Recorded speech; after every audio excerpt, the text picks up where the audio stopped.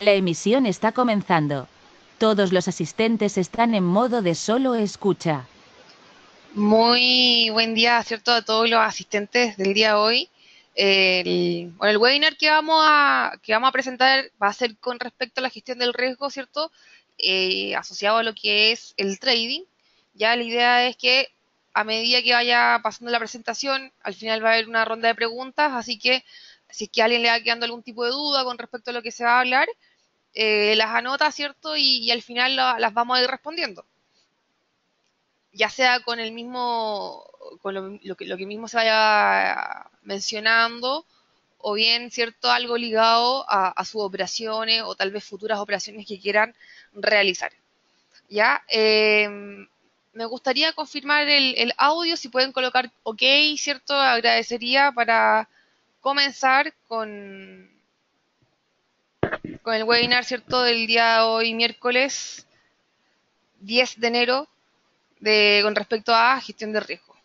Ya, si me pueden indicar que, que el audio está correcto, sería genial.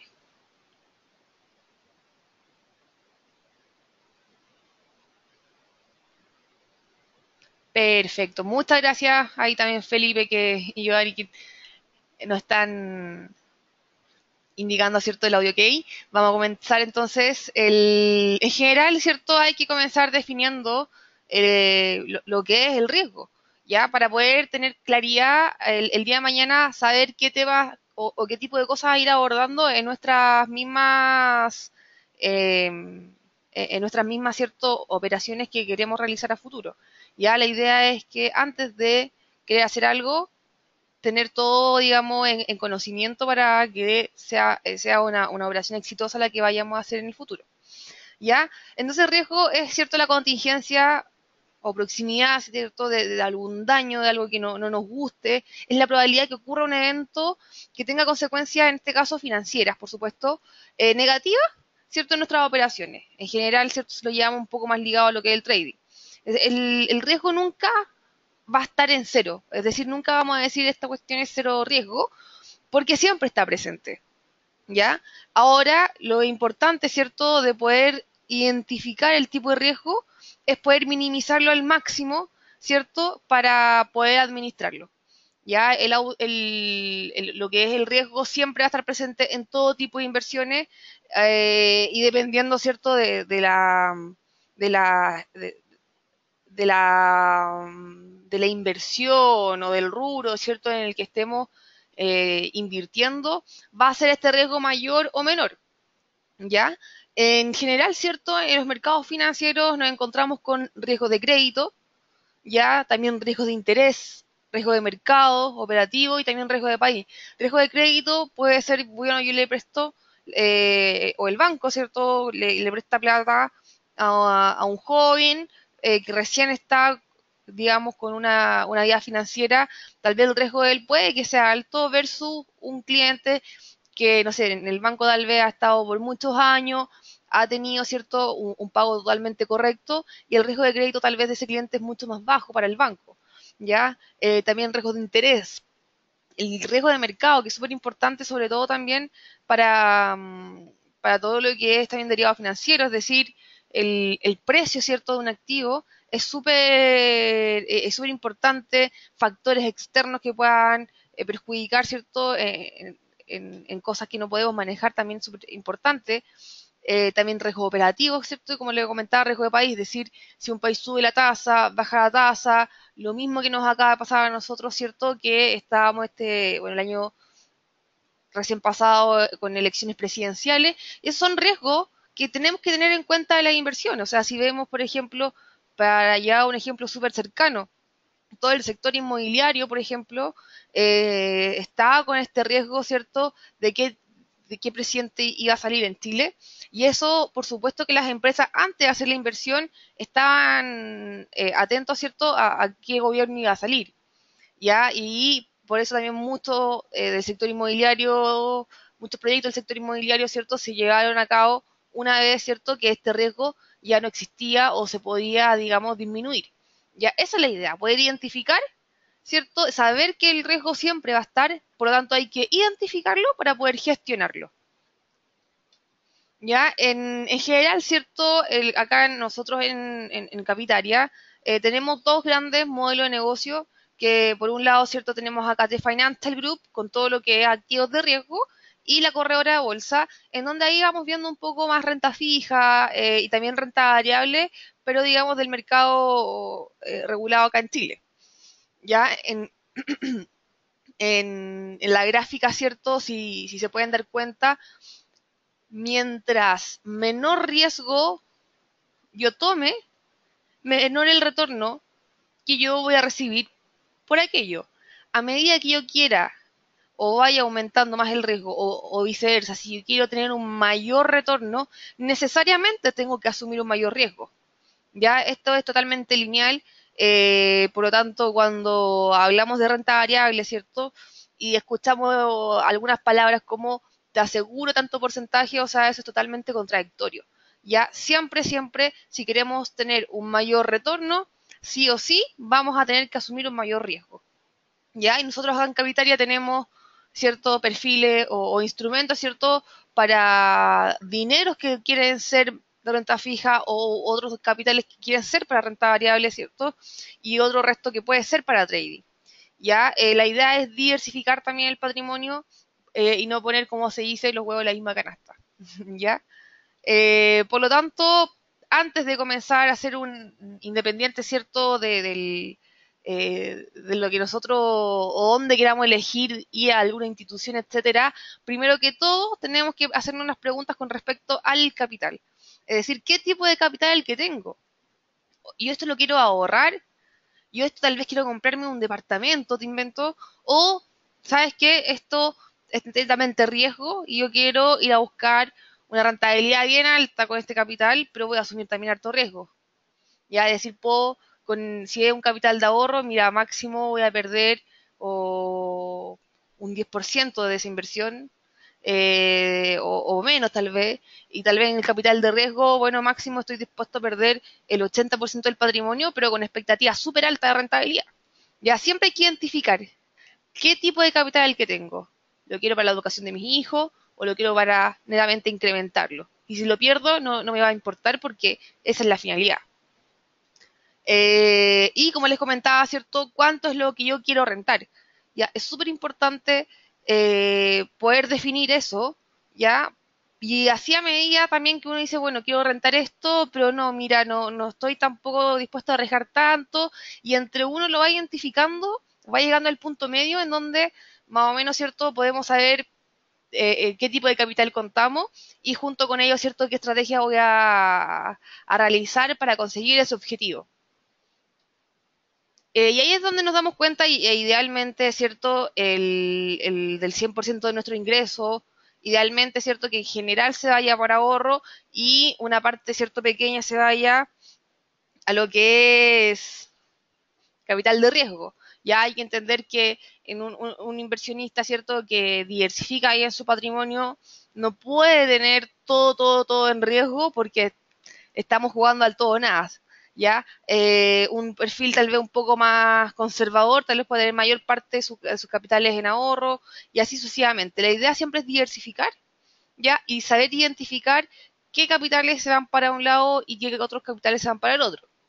En Capitalia, como les mencionaba, tenemos dos grandes eh, modelos de negocio, ¿ya? En donde eh, la idea, bueno, en primera instancia es la corredora de bolsa, somos intermediarios de fondos mutuos, también tenemos carteras administradas, que son más o menos eh, las carteras administradas también. Tenemos desde lo más conservador a lo más arriesgado, desde eh, la renta fija hasta carteras administradas, ¿cierto?, de, renta variable. Y también somos eh, intermediarios de acciones con la bolsa de comercio y también la bolsa electrónica. Y, ¿cierto?, el otro gran eh, modelo cierto que tenemos es lo que el trading, 100% riesgo, ya lo que no, nos convoca el día de hoy. La idea es poder gestionar cierto este riesgo que está presente eh, constantemente, ya a diferencia de otro tipo de instrumentos como tal vez los depósitos a plazo o, o fondos mutuos de renta fija, por ejemplo. Eh, el riesgo es menor, pero también hay que administrarlo versus acá estamos constantemente, ¿cierto?, con un riesgo que nos rodea. Por lo tanto, es fundamental conocer los riesgos asociados para que tengamos una muy buena administración de ellos. ¿Ya? bueno, nosotros, ¿cierto? Eh, Capitaria, nuestro cliente utiliza la MetaTrader 4, la plataforma en donde tenemos la observación de mercado, ¿cierto? Con todos los instrumentos donde puede eh, invertir como divisas, commodity, índices financieros, ahora lo que está llegando las criptomonedas y podemos hacer un análisis técnico, colocarle cierto eh, líneas, indicadores, ver los precios en línea. Em, y es súper importante también poder identificar en la plataforma lo que podemos hacer y que tiene un millón de funciones eh, la plataforma que nos va también ayudando a minimizar este riesgo que está tan presente en las inversiones. ¿Ya? en el trading ya hay que, bueno, como a, modo personal, ¿cierto? Una de las mis recomendaciones es poder tener 100% claro todo lo que son los aspectos relevantes. Ya los aspectos relevantes, si es cierto, los que ya son clientes pueden saber que pues una lata de repente leer los aspectos relevantes, pero una vez que nos vamos internalizando, eh, cobran cada vez mucho más peso eh, y, súper necesarios, ¿cierto?, los conocimientos. Ya uno de ellos eh, es el apalancamiento, una característica del derivado financiero. El, apalancamiento básicamente nos sirve para poder sacar un mejor provecho del movimiento de mercado. ¿A qué me refiero con esto? Si el movimiento de mercado, por ejemplo, fue de un 1%, y yo me apalanqué tres veces, bueno, ese mismo movimiento del 1 a mí, que yo estoy apalancada, me va a significar un rendimiento del 3%. ¿Ya? Sin embargo, si, el mercado cae un 1% y yo estoy apalancado tres veces, por ejemplo, mi patrimonio, a mí esa caída me va a significar un 3%. Por lo tanto, aquí, ¿cierto? El apalancamiento puede ser un arma de doble filo. Es decir, como puedo rentar más, con mercado cierto que, vaya en línea con mi estrategia. Si se reversa la posición, ¿cierto? También puedo perder en la misma proporción de mi apalancamiento. Entonces ahí cobra mucha importancia los dos mitigadores de riesgo, ¿cierto? Que es el take profit y el stop loss.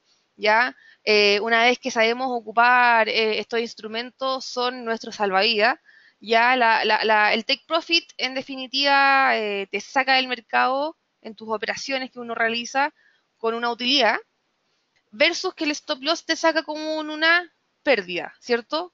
Pero cuando estamos hablando de, activos de riesgo, cuando estamos hablando, ¿cierto? Que estamos rodeados de riesgo, necesariamente tenemos que administrarlo y estas son dos fuentes súper buenas de, de administración de riesgo. Es decir, si se sabe, o sea, ¿cierto? Si yo sé que antes de hacer una operación, la potencial alza, si es que estamos en una tendencia alcista, ¿cierto? Es un tramo bien importante y la potencial caída también puede ser importante, bueno, es mucho mejor si que nos toca el stop loss estar, asumir una pequeña pérdida que llevarnos toda la, caída que puede tener el mercado o el sector, ¿cierto? A diferencia de otros mercados, por ejemplo, eh, lo bueno que uno puede definir cuánto estoy dispuesto a perder y salirme en ese precio.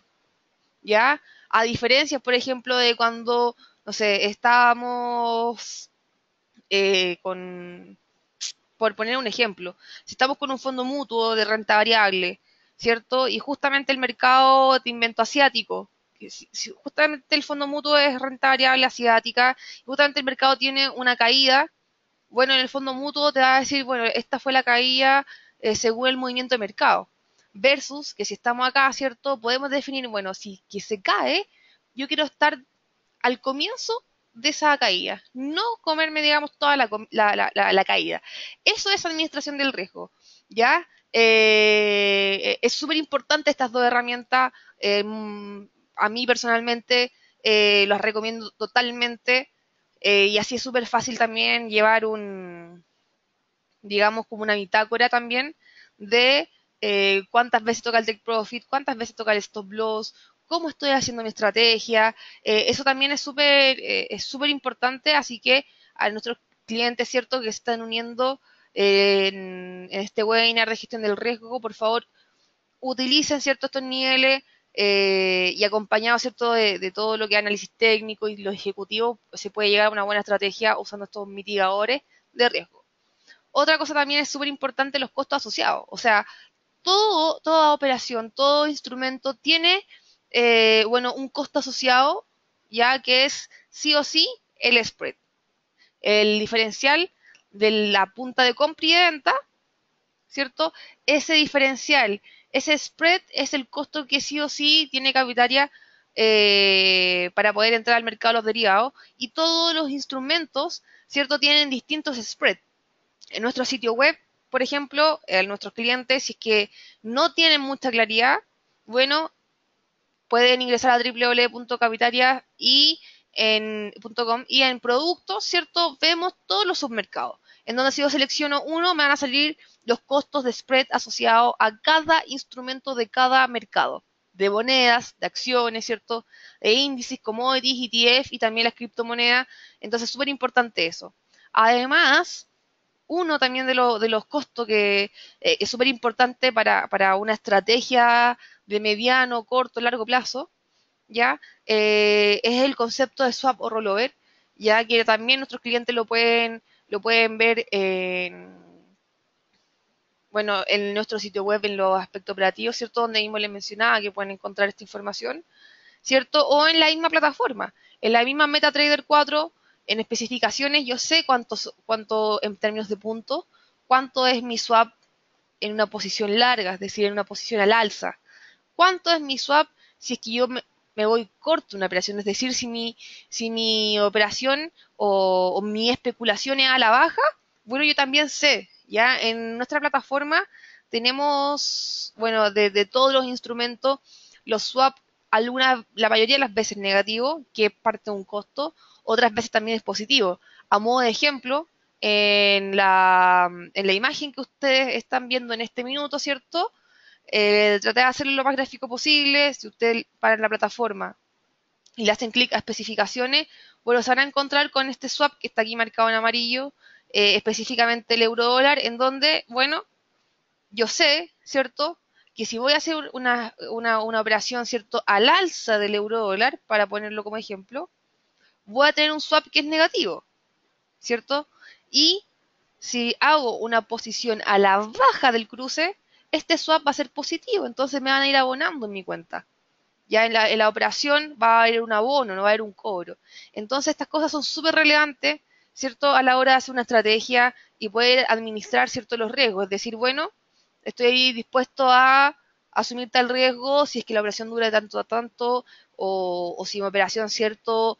Quiero cambiarla o quiero hacer un jet, etcétera, ¿cierto? Son parte de la administración y poder tener, en definitiva, una operación exitosa. Eh, por lo tanto, hay que estudiar esas cositas. Eh, comúnmente uno no opera todo, todo, todo, todos los instrumentos. Pero antes de hacerlo, ¿cierto? De hacer un instrumento nuevo, tenemos que eh, preguntar, tenemos que ir viendo, ir revisando todo lo que en el sitio web y plataforma está disponible para nuestros clientes, cierto modo de información. Otra, bueno, hablando, ¿cierto? En términos de trading, sabemos que esto es súper volátil, ¿cierto? Se mueve muy rápido y al moverse muy rápido, ¿cierto? Em, tenemos que estar atentos. ¿Qué es lo que hace que esto lo, hace, lo, mueva tan rápidamente? Ya, por lo tanto, cuando, nos cuando decimos, ¿cierto?, que tenemos que estudiar el instrumento, bueno, tenemos que saber cuáles son los drivers eh, que los rodean. A modo de ejemplo, al dólar peso, para no ir más lejos, ¿cierto? Eh, tenemos, es un cruce de moneda, por lo tanto está compuesto por distintas cosas. Ya, por un lado, todo lo que tenga que ver con, el dólar a nivel mundial, o sea, todo lo que pasa en Estados Unidos, si es que habla Donald Trump o, el presidente, ¿cierto?, eh, de la Reserva Federal de Estados Unidos, bueno, todo eso afecta en nuestro cruce de monedas. Ya, todo lo que va a pasar con el billete verde a nivel mundial por supuesto que nos afecta, por lo tanto, también debo estar atento a, ese tipo de noticias o, comentarios, ¿cierto? O la gráfica, ya que en, la MetaTrader 4 uno puede ver distintos gráficos de todos los instrumentos. Bueno, ir viendo los gráficos, ¿cierto? De los drivers es una súper buena forma de gestionar el riesgo. Bueno, también sabemos que nuestro tipo de cambio también se rige, por supuesto, eh, por todo lo que pase con el cobre. Es nuestro principal driver, ¿cierto? El cobre, nosotros somos una moneda commodity y, y todo lo, y, y, tenemos, ¿cierto? Eh, una, una correlación negativa totalmente, o sea, una correlación inversa, ¿cierto? Totalmente perfecta con el cobre. Es decir, cuando el cobre sube, nuestro tipo de cambio cae, que es lo que hemos estado viendo hoy en día, ¿cierto? En la cotización, eh, de hecho, eh, las, últimas semanas, el mínimo del dólar peso fue los 602 aproximadamente, justamente cuando el cobre estaba rompiendo máximo del año. Entonces, estar viendo la gráfica de los drivers, ¿cierto? Que afectan específicamente el instrumento que nosotros operamos es una súper buena forma de gestionar el riesgo.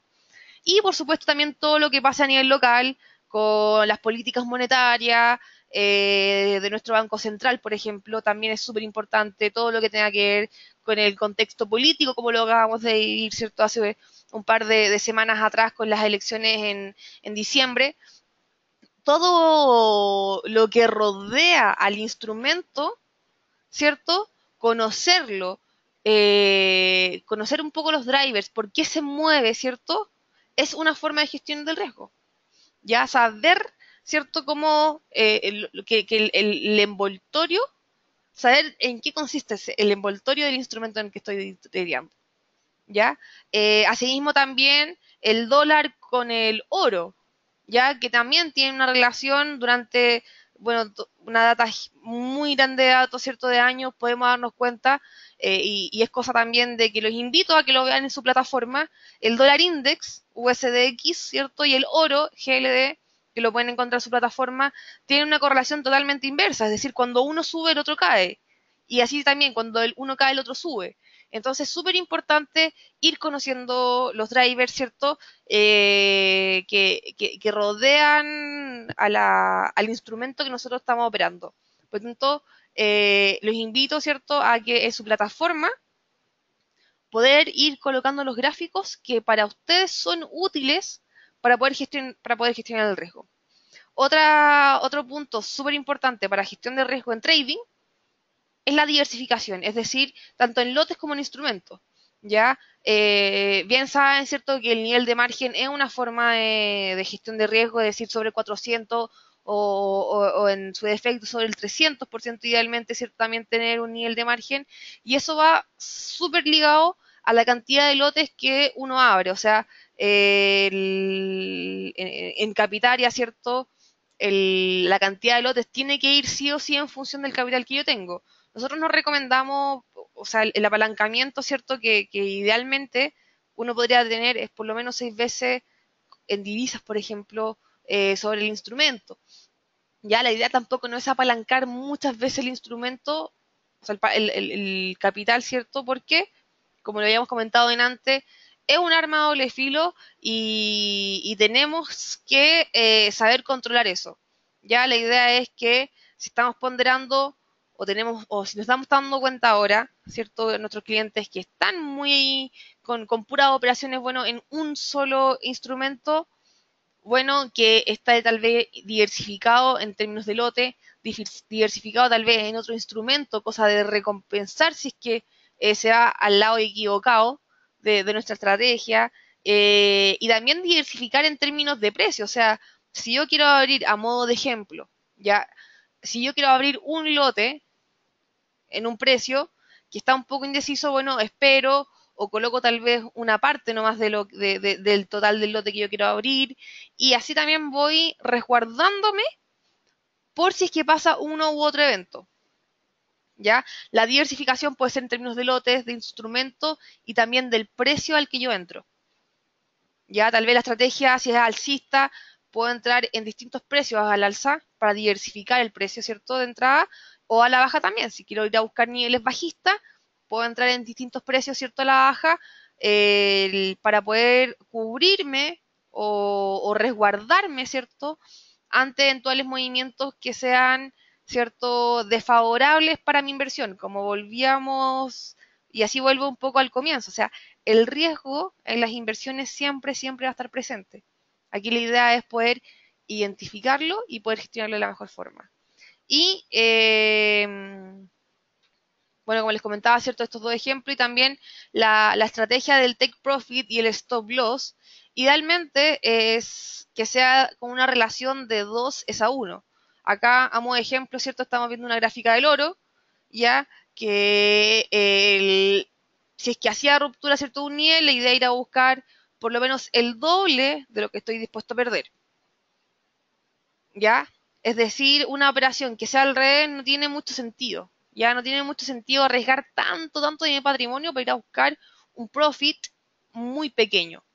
Ya la idea es que sea todo lo contrario, que sea una estrategia 2 a 1, ya que si, que si yo veo gráficamente ya lo que estoy dispuesto a perder y lo que quiero ir a ganar, sea acorde, cierto, más o menos a este tipo de estrategia. ¿Por qué? Porque si después, si hacemos más o menos este, este tipo de estrategia de por lo menos 2 es a 1 en una operación de trading, ¿cierto? O de 3 es a 1, cada cliente, ¿cierto? Tiene que ir viendo eh, y también de acuerdo al, movimiento del instrumento qué tipo de estrategia usar. Pero si utilizamos esta de 2 es a 1, es decir, estoy dispuesto a, a, ganar el doble de lo que estoy dispuesto a perder, si hacemos una, una matemática simple de 5 operaciones, por mucho de que 3 nos toque el stop loss y solamente 2 nos toque el take profit, aún así nuestro saldo va a ser positivo si mantenemos esta estrategia, ¿cierto? En términos de lotaje, de diversificación y eh, de esta relación entre take profit y stop loss. ¿Ya? Por eso es importante ser ordenado en el trading, ¿ya? Es tanto el riesgo que, nos rodea que tenemos que seguir siendo ordenados, ¿cierto? Para que eh, estas operaciones sean exitosas. ¿Ya? hay instrumentos que son súper técnicos, otros instrumentos eh, técnicos me refiero a que el análisis técnico, el análisis de vela, ¿cierto? Es imprescindible en el movimiento del instrumento eh, y otros que se ligan netamente o, que, o que más el tema de, las noticias macroeconómicas, ¿cierto? De todo lo que es fundamental. Entonces, para ello tenemos que estar conectados y, y por supuesto que todo eso se pueden ir apoyando de nosotros los analistas, de sus ejecutivos de venta, de, saber, ¿cierto?, lo que rodea este instrumento. ¿Ya? Por lo tanto, es súper, súper atractivo este tipo de relación de 12 a 1, ¿cierto? Para, y usar el take profit y el stop loss porque, porque si ustedes ven acá en la gráfica, si es que el instrumento sea muy, muy abajo, o sea, por supuesto que se puede caer demasiado. Entonces es mejor asumir una pérdida pequeña que, eh, eh, que asumir toda la tendencia, digamos, eh, reversa de nuestra operación. El, y, cierto, y bajo ese escenario, como a modo de ayuda, podemos definir, o sea, si yo quiero, eh, aquí es cierto el, ejemplo que les coloqué en pantalla, eh, si yo quiero rentar un 40% sobre mi capital en el año, por ejemplo, bueno, ¿cómo va a ser mi trabajo? ¿Cómo va a ser la metodología para llegar a ese objetivo? Esa es la finalidad de, la gestión de riesgo, ¿ya? Y, en ese transcurso de cómo voy a hacer la estrategia, es en donde, eh, bueno, voy a hacer una estrategia diaria, voy a hacer una estrategia mensual, tengo que hacer tantas operaciones para poder eh, generar este objetivo. Eh, y si, bueno, el, la alcanzo de inmediato, genial, ¿ya? Eh, y me quedo con eso y sigo la estrategia de, por ejemplo, operar una vez a la semana, u operar tres veces a la semana, u operar una vez al mes, ¿cierto? O, mm, pero eso va, digamos, con, cada uno de estos traders. Ya nosotros como Capitaria siempre proveemos de, información, ¿cierto?, para poder gestionar bien los riesgos. Eh, además hago la invitación al, seminario que, y las clases que vamos a tener con Sergio Tricio, el director de nuestro departamento de estudio, en donde vamos a ver análisis de la, vamos a ver formas de estrategia, vamos a ver medios móviles, ¿cierto? Eh, y es un curso de análisis técnico que empieza de muy básico ya eh, para entender un poco también la estrategia que cada uno puede usar. Así que de, ahora en adelante, ¿cierto? Los dejo totalmente invitados al curso de análisis técnico que, se, va a comenzar la próxima semana, miércoles, jueves, con el curso 1 y va a terminar la subsiguiente con el curso 2, ¿cierto?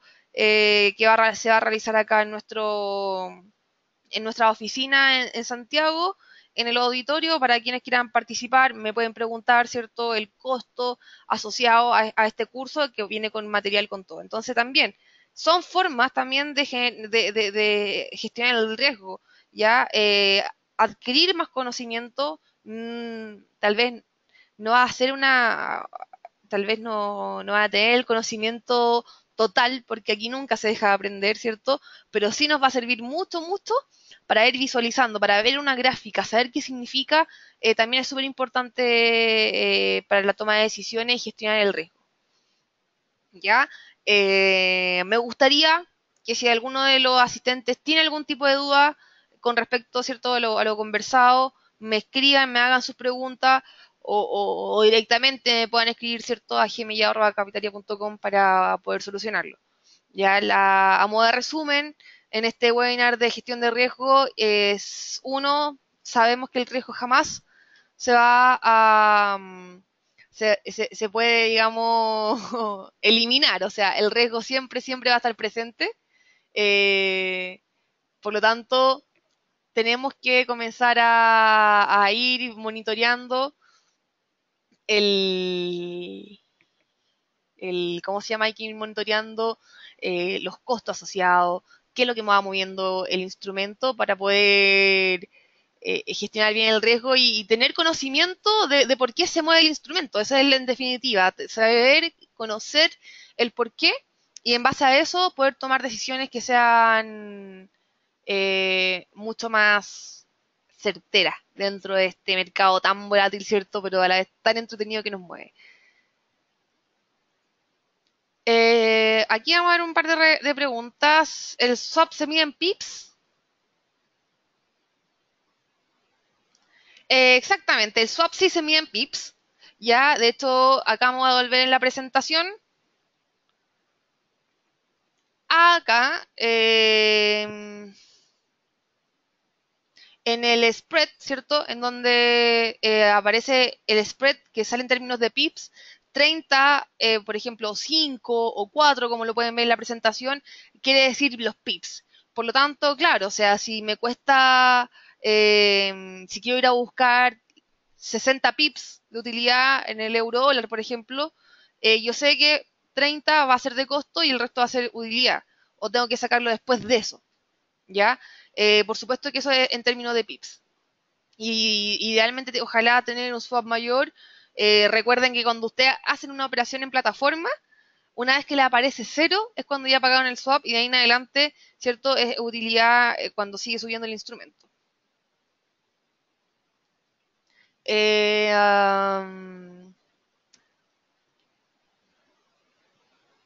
el, bueno, el costo, ¿cierto? De, eh, a mí me gustaría que me escribieras, Ángel, a gmellado.capitaria.com para que veamos en, detalle, ¿cierto?, el tema de los cursos. En este minuto desconozco los costos, ¿cierto?, pero eh, te lo puedo hacer llegar por mail, ya, para que mm, puedas participar. En general, ¿cierto?, para los clientes antiguos que tienen sus cuentas inactivas, volver a, activarse, ¿cierto? Primero que todo hay que actualizar documentación que en definitiva es eh, actualizar el carnet de identidad, por ejemplo, si está desactualizado, el, el, contrato que muchos clientes, ¿cierto?, eh, firmaron el contrato cuando nos llamamos Forex Chile y ahora somos Capitaria, entonces también hay que actualizar eh, la, o la dirección, el número telefónico, el mail de los clientes, todo eso también es súper fácil, se hace en breve para, para que quede cierto gestionado. Así que, por supuesto, si quieres volver a, acá tenemos uno de nuestros antiguos clientes que quiere volver a, operar, no hay ningún problema en, eh, te, solicito los documentos y, no hay ningún problema. ¿Ya?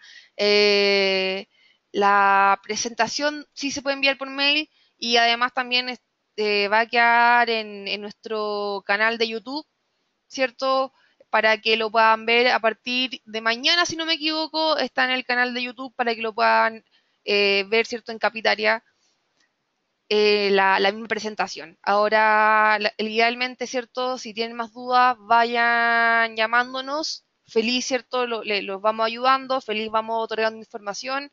Eh, si muchos muchos de nuestros clientes no son de Santiago, y podemos ir haciendo reuniones online con nuestros clientes de regiones. Eh, la idea es que acá, ¿cierto? Eh, podamos siempre tener toda la información a mano, así que en ese sentido no hay problema. Eh, estimados, em, le, le, agradezco, ¿cierto?, su participación, ¿cierto? No, nos encontramos en una nueva oportunidad.